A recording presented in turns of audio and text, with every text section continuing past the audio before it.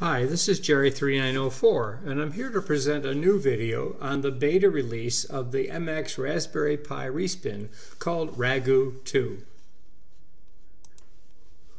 This is a five minute introduction only, we'll do more later. And a really critical thing, the user default user is Pi and the password for that is also Pi.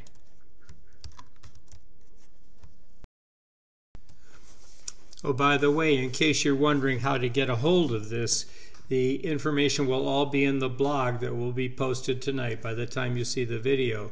The easiest way to see that blog is to go to MX Linux homepage, mxlinux.org, and check the news section that's circled on this screen. You'll see it listed there. Okay, here we are. We're looking at the default desktop. This is Fluxbox as it was designed for MX21 Fluxbox. It has many of those elements, even though we're still running the Raspberry Pi on, uh, on uh, Debian 10 Buster for, for a variety of reasons. I'm just going to look at the differences between this version and last year's version because last year's version I covered extensively in my YouTube channel. You'll see a couple of videos down at the bottom on Raspberry Pi. So if you have further questions, then I urge you to go there. So the first thing that's very, very different is the settings manager. Uh, you can use the wrench or I'll just use the icon. The settings manager, which is brand new and is modeled on MX Tools, it's a dashboard with handy uh, common settings that we need. It includes, for instance, the common Raspberry Pi settings here that are pretty helpful to have at a single click.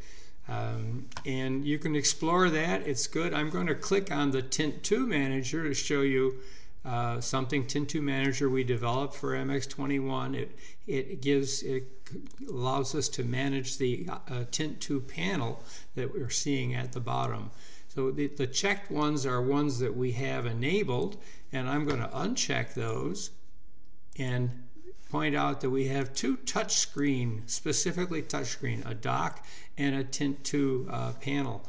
And those two um, are specifically for touchscreen. There's a lot of features uh, we'll go into later. I'm not going to do it now. But those, if you're going to do touchscreen, I recommend that you uh, take a look and use those. Let me close this.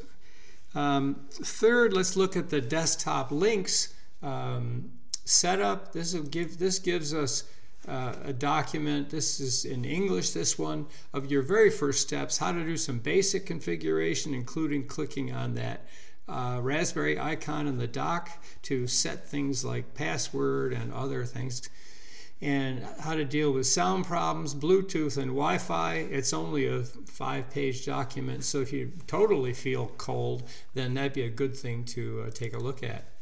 That's in English, but our help documents are, are include a variety of translations. I, I, may automate this later, but right now it's manual. So here are the first steps in various translations.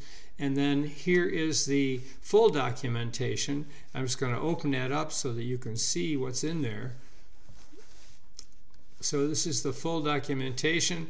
It includes a whole dedicated section on the touchscreen, the default configs for Fluxbox and OpenBox, how to, how to use a traditional Fluxbox config if you want to, and then a whole set of super useful links. And when you want a little bit more information, this really should be your second resource. Uh, we, have incorporated finally a whole bunch of features from uh, MX21 Fluxbox, although we're still on uh, we're still on Debian uh, 10, Debian Buster. Um, but the, the screen is the default screen. It's gorgeous screen. Uh, you can easily change it, uh, right-clicking, appearance, wallpaper, and select something else. Um, um, but it's it's really unusual and really gorgeous. And um, that includes the way, let me pop open, that includes the way uh, the windows are treated. This is a window treatment called MX Comfort that we developed. It also comes in a dark version, which is really nice, but I won't, you know, you can see it yourself, you, same place, appearance, style, and there's MX Comfort, and you can do MX Comfort Dark or any one of the others that are hereby. Oh, didn't mean to do that actually. Uh, so um, that's really all I want to say about this. All the rest is in the old videos or the documentation. So let's switch over to, uh, let's switch window managers over to OpenBox.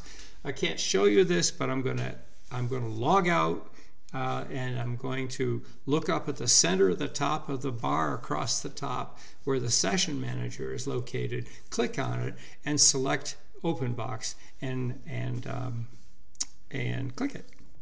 Bye. Okay, we're now over on the OpenBox side of uh, this new respin, and it's very exciting because we've never had an OpenBox in use in, in MX at all. And start in the upper left-hand corner. You see the same three icons that we had before. I'm going to get rid of them by opening up the root menu out of sight desktop icons so I don't have to look at them. Uh, this is a very cool user uh, created desk wallpaper that we use cleverly has the MX inside as the filament for the light bulb. Up in the right hand corner, um, this is uh, this is known. This is a, a system monitor. It's called GKrellM. It was highly developed in the first decade of this century. It's very, very cool, works extremely well. I think it's perfect. Myself, I think it's perfect for OpenBox. But you can get it out of sight. Again, if, if the focus is on it, then you can just do Alt F4, but more useful, like I just did. Or you can right click this top bar to get the basic menu of configuration theme and to quit. And I'll just get, I'll quit that. But by all means, explore what that can do. There are three menus on this and on the other side for that matter. Uh, the root menu I've already showed you uh, and there are two other menus inside the root menu. One is called All Apps. This is Rofi. Uh, and it's a very, very quick, very useful little app. You just begin to put uh, something in there. Of course, it's got to be English, simple. Well, try it again. Just begin to type it, and there's the screen recorder that I'm actually using right now. And the second one is the XFCE4 App Finder uh, uh, menu, which I don't use all the time, but is very handy in some contexts, and so I keep it on. You can uninstall those, of course, anytime you want. There also, if I middle click the desktop, there also is the, the standard window menu um, that shows up, and that's useful. Okay, down below here, this at the bottom, this is the sys tray um, from left to right, and you know what those are. On the right end is the is MX Updater that changes color when there's uh, applications to be to be installed or updated, and um, it is actually a dock, and so you have basic manipulation just by looking at the OpenBox configuration manager, and there you'll see dock and now this is this is this is the dock that it's talking about. So you can position it, you can orient it, you can design, and you can hide it off screen if you want.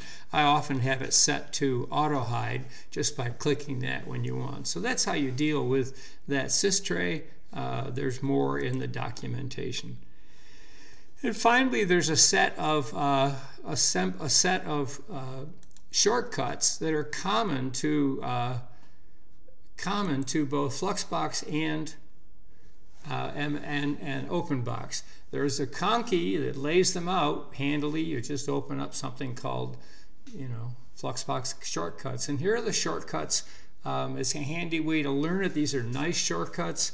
that I use a lot of them like Control Alt Delete, which takes me out of the system, exits from the system without hitting anything. So that's how you get to that. Uh, and that's about it. I think you know you you'll play around. I just wanted to get you started, and I hope that you will. Uh, I hope that you will um, dive in.